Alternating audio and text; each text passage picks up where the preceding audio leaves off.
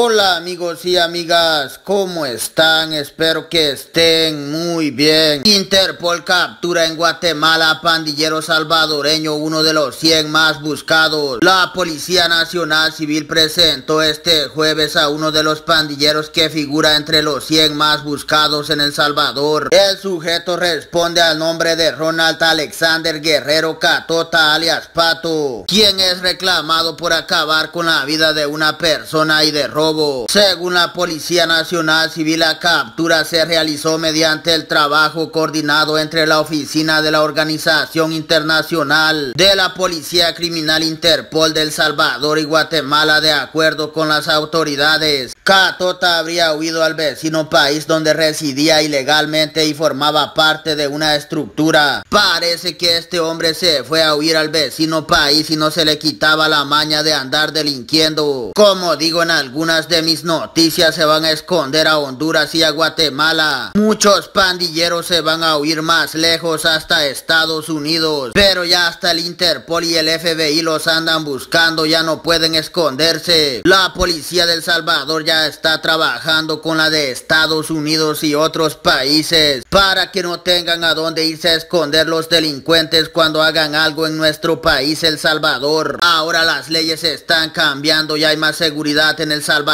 Voy a seguir con más información de lo que está pasando en nuestro país. Capturan a sujeto que se dedicaba a hurtar pertenencias de automóviles. Este jueves la Policía Nacional Civil capturó a sujeto que se dedicaba a hurtar pertenencias en autos estacionados en la zona del Paseo General Escalón en San Salvador. En respuesta a la denuncia ciudadana a través de redes sociales capturamos a sujeto que se dedicaba a hurtar pertenencias de autos, informó la policía. De acuerdo con la información, el sujeto se mantenía en los parqueos a la espera de que un automóvil quedara mal cerrado para poder hurtar las pertenencias. Las autoridades identificaron al detenido como Henry Lobato González, alias Henry, quien deberá responder por el delito de hurto, explicó la Policía Nacional Civil. Hace días que estaban publicando fotos de este sujeto, no quería subir la noticia porque estaba esperando a que la Policía Nacional Civil del Salvador lo capturara. Así es más interesante la noticia porque ya lo agarraron y lo llevan para la cárcel. Yo creo que este hombre se mantenía de eso de vender cosas robadas. Alguna persona lo denunció y le tomó fotos para que lo capturaran. Las denuncias de los ciudadanos han ayudado a que capturen a muchos delincuentes, aunque muchas personas todavía tienen miedo de denunciarlos. Pero hay personas que tienen el valor de hacerlo, así agarraron a este. Gracias amigos, por favor denle me gusta y los invito a que se suscriban a mi canal.